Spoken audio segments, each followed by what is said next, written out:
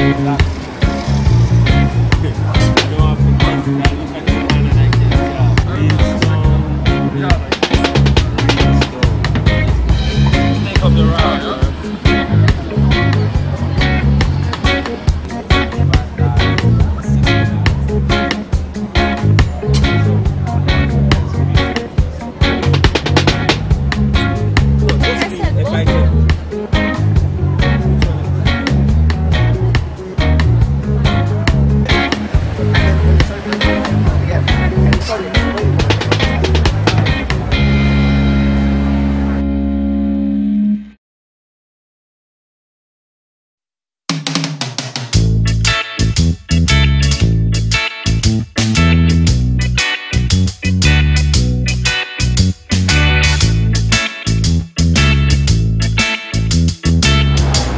Me another shot, turn it sideways too.